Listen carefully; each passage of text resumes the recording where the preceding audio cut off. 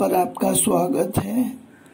नदी, जंगलों पेड़ पौधों और छोटी छोटी संकरी जगह से गुजरते हुए, अपना रास्ता बनाते हुए आगे बढ़ती है और अंत में सागर में जाकर मिल जाती है।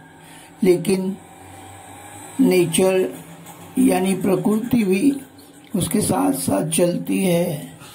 जहाँ जहाँ नदी आगे बढ़ते हुए जाती है। नेचर भी, यानी पेड़ पौधे उसके आस पास उगते रहते हैं और उसका साथ देते हैं।